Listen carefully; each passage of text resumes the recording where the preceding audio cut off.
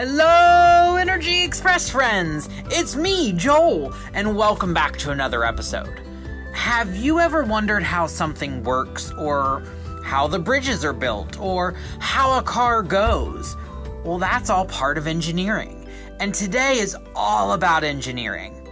I want to introduce you to my friend Cate Schlobaum, who is going to host you today and read you a great book and teach you a fun experiment. Cate? My name is Cate Schlobaum, and I work at West Virginia University's Statler College of Engineering and Mineral Resources. I'm really excited to be here with you today so we can talk a little bit about engineering, how it relates to children's books, and the engineering design process. We're even going to do a fun demonstration at the end relating back to the book that we read. One of my very favorite things about reading books to my own children is that when there's a character who faces a problem, that means you get to come up with a solution to fix the problem. And so when I'm reading to my own kids, I'm always trying to get them to think about what is the problem and how could we fix it for the character. So in any children's book that you read, that's something that you can identify. And if you do that, you'll really be thinking like an engineer. Today, we're gonna read a book that hopefully you've read before, or at least you know you're familiar with. Um, it's called If You Give a Mouse a Cookie. It's by Laura Numeroff and it's illustrated by Felicia Bond. So I'm gonna read this book to you. And then after that, we're gonna talk a little bit about what an engineer even is, talk about the design process that they use to solve problems every day, and then we're gonna do a fun demonstration with items that you might have around your own home.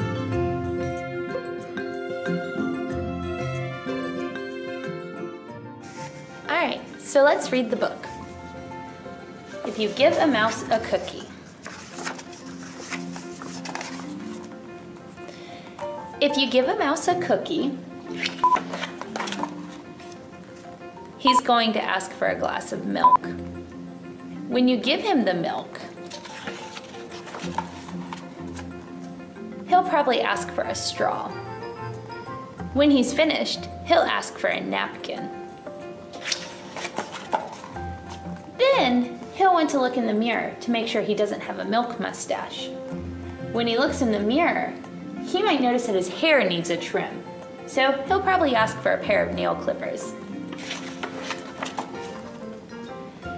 When he's finished giving himself a trim, he'll want a broom to sweep up. He'll start sweeping. He might get carried away and sweep every room in the house. He may even end up washing the floors as well. When he's done, he'll probably want to take a nap. You'll have to fix up a little box for him with a blanket and a pillow. He'll crawl in, make himself comfortable, and fluff the pillows a few times. He'll probably ask you to read him a story. So, you'll read to him from one of your books, and he'll ask to see the pictures. When he looks at the pictures, he'll get so excited that he wants to draw one of his own. He'll ask for paper and crayons. he will draw a picture.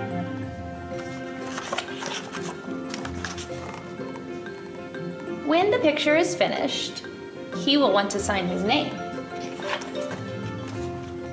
with a pen. Then he'll want to hang his picture on your refrigerator, which means he'll need scotch tape. He'll hang up his drawing and stand back to look at it. Looking at the refrigerator will remind him that he's thirsty. So, he'll ask for a glass of milk. And chances are, if he asks for a glass of milk,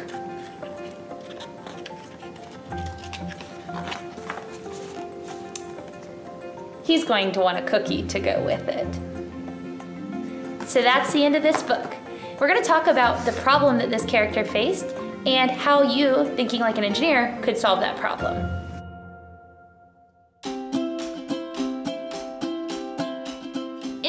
Always looking for problems in the world, but they're not looking for problems because they're negative. They're looking for problems because they're looking for ways to make your life easier, better, safer, or cooler.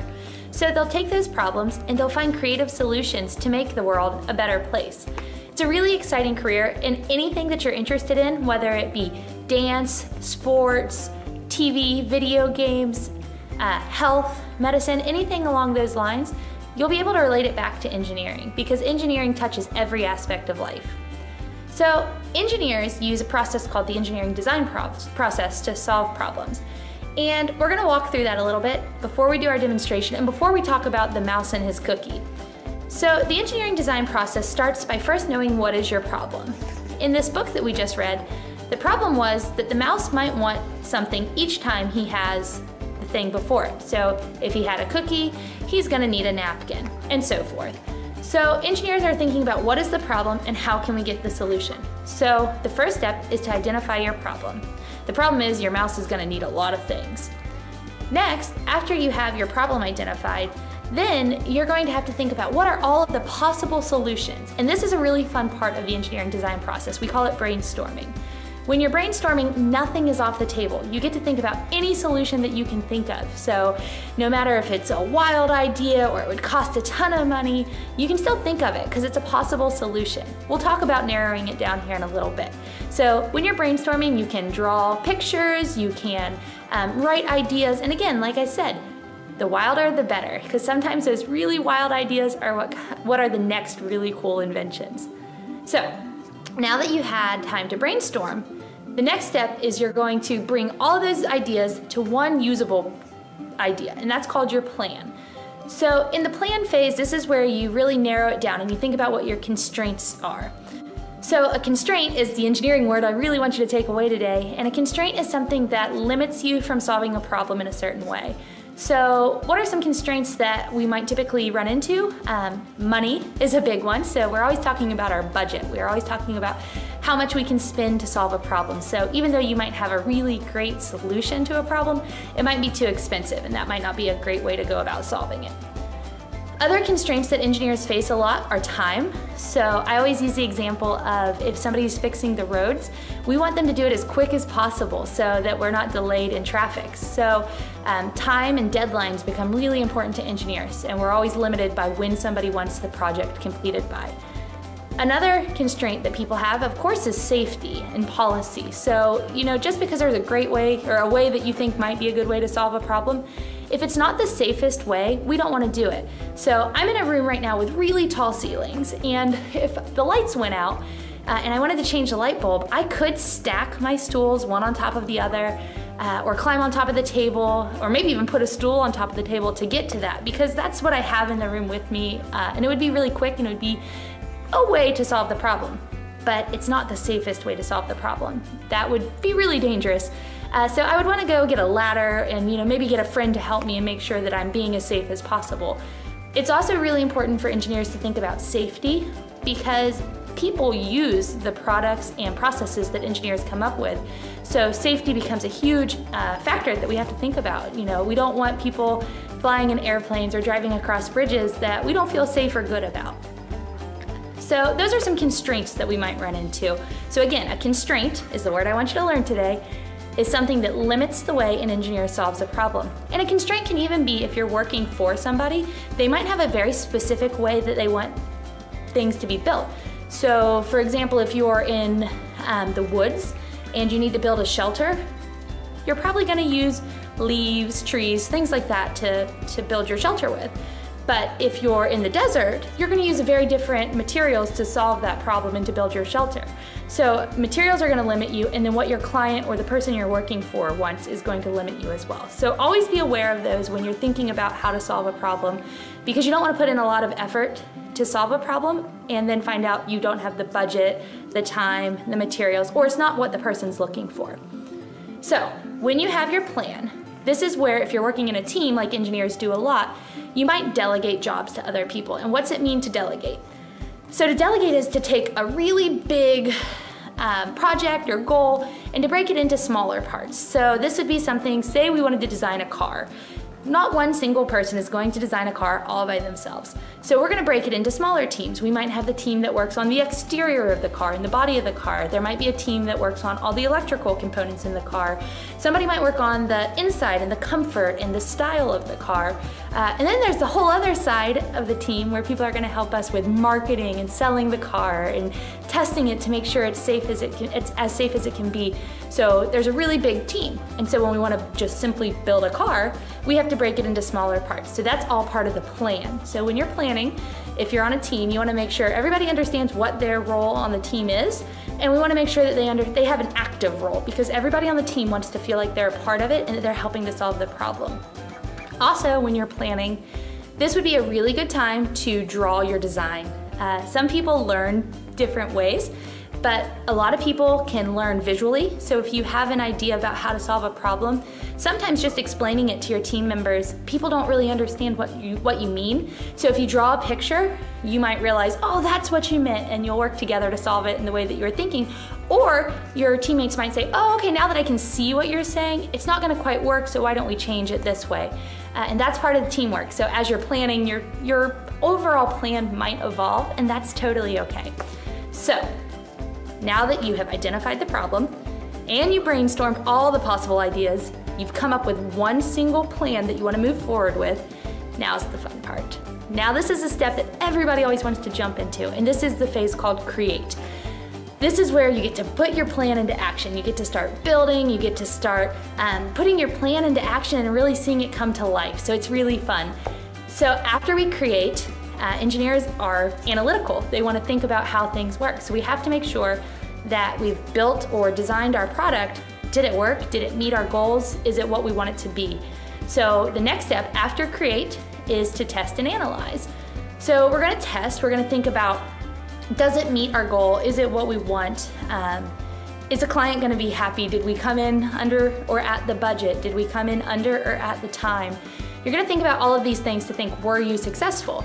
And I think this is one of the things that's really hard for people is that sometimes you're not successful. And you know what? That's okay. So sometimes engineers, eh, just like everybody, fail at things. And you know what we do with that? We learn and then we try again because it's not the end of the world. So if it didn't work or it didn't meet our goal, totally fine. We're gonna move forward. And that's why the engineering design process is kind of like a circle because you're always gonna keep going through that process over and over. Even if your product or process did work and it met all your goals and you're pretty happy with the way it turned out, it could always be better. And so that's why with the engineering design process, you're never actually done. It can always be safer, easier, better, or cooler. And engineers are always thinking about how can we make it one of those things.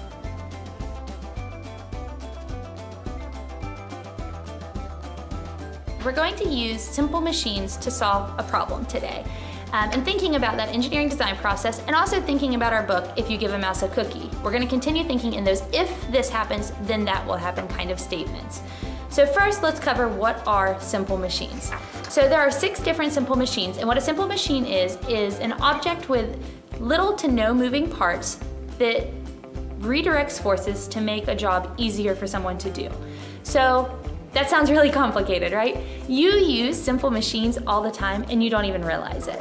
So I'm gonna give you the list of the six and then I want you to look around your house or your room and I want you to think about where do you see these simple machines every day and where are you using them that you didn't even realize it?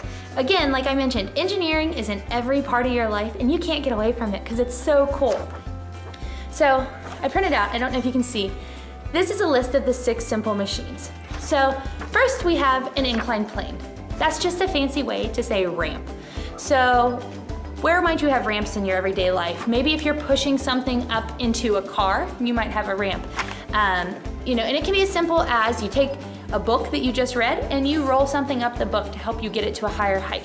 Uh, you would do this a lot of times if something was heavy, too heavy to pick up and lift up the stairs. A lot of times you might also see ramps at accessible entrances for people in wheelchairs or things like that. So it's just another way to move something from a low position to a high position or the opposite way. Another simple machine is wheel and axle. And so the really common place that you would see a wheel and axle um, that you would immediately think of is your car. So I have some little uh, block cars that have their wheel and axles here where you can actually see that the axle is the part that the wheel spins on. And this would be something that you would use to move objects, again, that are too heavy to move by yourself. Uh, and that's again where simple machines try to make hard work easier for people. So a wheel and axle is another simple machine that you could use in your Rube Goldberg. Another less common place that you might think of a wheel and axle, but you have them all over your house, is a doorknob. So if you know how a doorknob works, there's an axle and then the knob is actually like a wheel that turns. So you're using those wheel and axles every single day to get in and out of places. A wedge is another simple machine that you might be familiar with. Uh, a wedge is going to be, a, a, it's designed to usually break apart or split something in half. So think about if you were chopping wood, you're gonna use an axe. And an axe is shaped like a wedge, so it's skinny at the front and it gets wider towards the back. So that'll help split something apart. The next simple machine is a screw. So screws aren't only for hanging things on the wall or putting wood together, something like that. You also use screws on things like jar lids. So if you've ever screwed a jar lid on or off, then you're using a simple machine, and that one is the screw. Next, you have a lever. So you use levers all the time. Uh, the easy one that everybody always thinks of is a seesaw. So there's a center point or a point that the board balances across and it goes back and forth. So the weight can move up or the weight can move down depending on how the centerpiece is placed. But this, it's going to move up and down. Another lever that you use in your everyday life is your light switch. So when you flip it up or down, then it's a lever. Finally, a pulley system. So a pulley is a simple machine that does kind of have some moving parts, but basically a pulley is gonna help redistribute the weight and make it easier to lift something or to move something to a higher location. So you might use pulleys in fishing reels. Um, if you've ever helped put a flag up a, up a pole, then you've used a pulley system. So you use these things in your everyday life. Like I said, there's six of them, and the whole point of Simple Machines is to take hard work and make it easier. And again, that's engineers thinking about how can they make your life easier, better, safer, cooler. They're trying to make it easier by implementing simple machines to make work easier for you.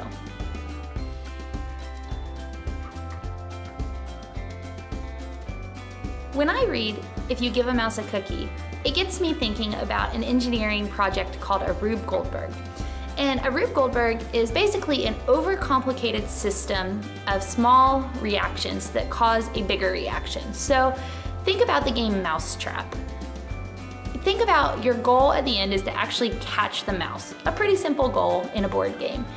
But if you've ever played the game, you have all these simple machines and simple processes that have to happen to make that cage fall down at the end over top of the mouse. And so with a Rube Goldberg, it's the same idea. You'll have one object or process that will start the next object or process to complete a final task. And again, they're overcomplicated to be fun. They're fun, fun things to see if you can solve problems. And again, that's thinking like an engineer. So the book, To Give a Mouse a Cookie, is kind of like that. Every step is if this happens, then that will happen. So if you give him a glass of milk, then he will want a cookie. If you give him a cookie, then he will need a napkin. So there's a bunch of if-then statements. And so with a Rube Goldberg, it's the same idea. We could have, if you knock over these dominoes, then this tennis ball will roll across the table. Or if this pulley lifts up an object, then the counterweight will make something else drop and fall. So a Rube Goldberg is a really fun way to make, um, to put the engineering design process into action. And the really fun part about them is you really can't do them wrong.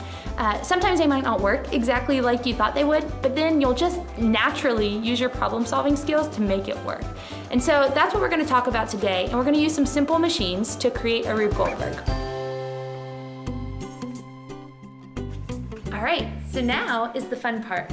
We're gonna take what we've learned about the engineering design process as well as simple machines and we're gonna combine everything to design and build and test our very own Rube Goldberg. So remember, a Rube Goldberg is a set of, or is a series of tasks in a very complicated system to complete a simple task. So for us, we're going to set up a Rube Goldberg with the goal of dropping this tennis ball into a basket like this. Pretty simple, right? We don't really need a bunch of steps to do that. I could just drop it in with my hand, but where's the fun in that? So with a Rube Goldberg, you can make it have as many steps as you want. So again, think about the game Mousetrap. There's so many steps from the seesaw with the diver that has to go into the pool before the, th the cage comes down over the mice. So we can make it have as many steps as we want. What I'm gonna challenge you to do is to create a Rube Goldberg using all six of the simple machines that we talked about. So you can use household objects. There's no right or wrong material to use in a Rube Goldberg. Anything can be used. Um, I've built them with my own kids using things like boxes of macaroni and cheese, uh, all kinds of their toys and superheroes. So whatever you have around your house, feel free to use it. Today, we're gonna use um, some simple materials that I had laying around my STEM zone, uh, and it's gonna be it's gonna be fun. I don't even know what some of them are gonna turn into yet, so you're gonna be learning right along with me.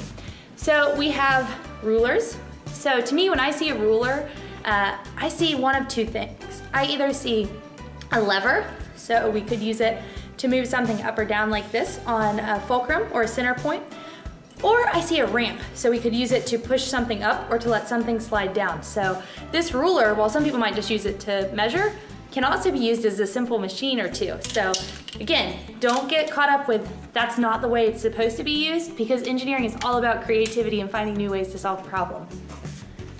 Um, another thing that we're gonna use are marbles. So I've got a whole bunch of marbles here. Uh, and again, like I said, not 100% sure yet what we're gonna do with them, but we're gonna use the marbles in our Rube Goldberg. I also have a bunch of cardboard tubes. So you probably have these in your house, uh, and a lot of times people just throw them away. They don't even think about all the great stuff you can do with them. But I've got ones from toilet paper and ones from paper towels. So again, don't feel limited that these can only be a tube and that you might use them for supports or things like that. Think about all the ways you could use them. You can cut them, you can make them more like gutters or chutes, you can tape them together, so you're only limited by your own creativity. If you have some Legos or K'NEX around your house, uh, they're a great thing to add into your Rube Goldberg system because they can truly be anything. So I used some K'NEX uh, and I made a simple machine. So I made a wheel and axle. And so again, I'm thinking in our Rube Goldberg, this is probably gonna be used to move something from point A to point B, uh, but let's wait and see what we've got. And then I have um, some yarn. Yarn is gonna be very important in our Rube Goldberg, so yarn or string or floss of some sort. Uh, we'll, be, we'll probably use it in multiple places when we make our final design. And then I have this empty um, hot chocolate canister. So it's just a empty canister that we've washed out. Uh, we made all the hot chocolate and I don't know what this is gonna be, but this trash looked too usable to throw away, so I kept it. And I'm really excited because today it's gonna turn into something awesome. So feel free, go look around your house, see what you have available, and then let's get started. We're gonna start building. So we know what our problem is. Our problem is we need to figure out a way to drop that tennis ball into that basket. So now we're gonna brainstorm. We're gonna think about all the possible ways. So we see what our materials and tools are. We know what our constraints are because we're constrained by our time because we can't do this all day long. Uh, and we are constrained by the materials that we have as well as budget. We probably aren't gonna go out and buy a whole bunch of extra supplies to build a Rube Goldberg. So we know all that. So now let's brainstorm our possible solutions. I'll give you a couple of minutes and I'm gonna start building mine. So when we come back, I will already have some things in place for it. All right, welcome back. So I hope you were able to come up with some ideas for your very own Rube Goldberg. I worked on mine while we were away, and what you didn't see is there was a lot of trial and error. So some things that I tried, it didn't work and I had to go back to the drawing board, which is totally fine because using that engineering design process, when I tested it, if it didn't work, I learned from that and then I moved on and tried a new plan and that's totally fine. It happens all the time. So I had a lot of mistakes I had um, some interesting ideas that might work. Uh, we're gonna do the final test here together in just a minute. And remember, our goal is to drop the tennis ball into that little white basket. So uh, I used some materials that I'll show you here in just a minute, but I did add in some Play-Doh and some dominoes. And I forgot to mention, tape is going to be your best friend. So make sure you have some tape on hand when you do this. So I'm gonna show you my design and we're gonna test it together. So if it works, I'm gonna be very excited, but if it doesn't work, that's okay, because we can always use our problem solving skills to make some small adjustments to make it work.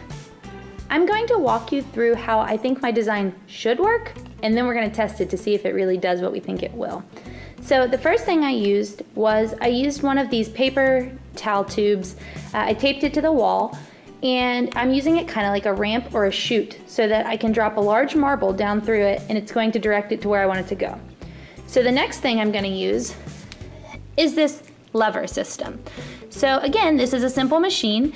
Uh, I used a ruler, a tennis ball, Play-Doh, two baskets, and a whole lot of tape. So the idea here is that my marble will come rolling out of the tube, land right there in that white basket, and then the next step would be this yellow basket has some yarn tied to it. That yarn is tied around our hot chocolate canister.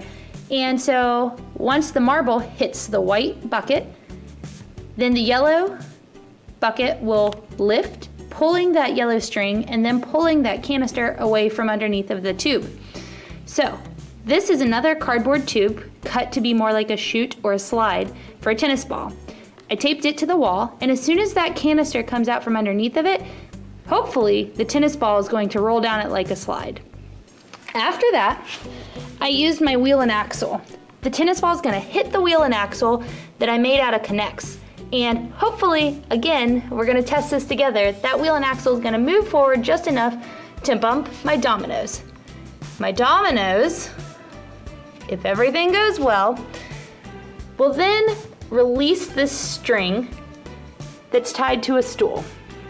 And so what you can see I've done here is I've used this string kind of like a screw. So I wrapped it around that center post there a few times and when the domino releases the string, like a screw, it's gonna unwind and hopefully this pulley system that I used in the top of the stool will lower the tennis ball from its position here into the white basket. So, like I mentioned, a Rube Goldberg is an overly complicated system to complete a simple task. That simple task for us is dropping this tennis ball into this white bucket. So let's test it and see if it works the way I hope it will. And here we go. We're gonna try with our marble again. Ready, set, go. Oh no. We had our first test and it didn't work. So I had to reset everything um, and that's fine because we're gonna try it again. One thing that I learned was that the marbles, or I'm sorry, that the tennis ball wasn't heavy enough to pull the string down. So I added some marbles to the end of it. So let's give it another shot and see how it goes. Step one, marble goes into the white bucket.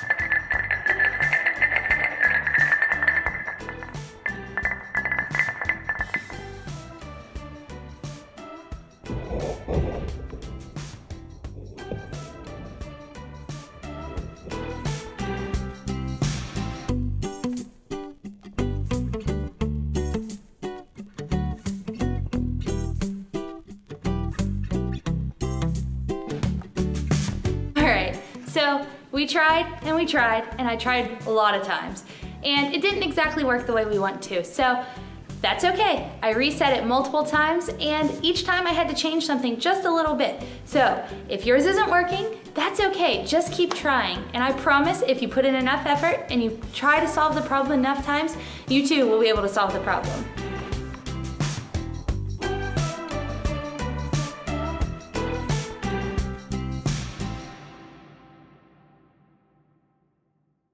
Hey, Energy Express friends, did you have a fun day? I know I did. Well, we'll see you again soon for more fun and more activities. Have a good one. Bye bye.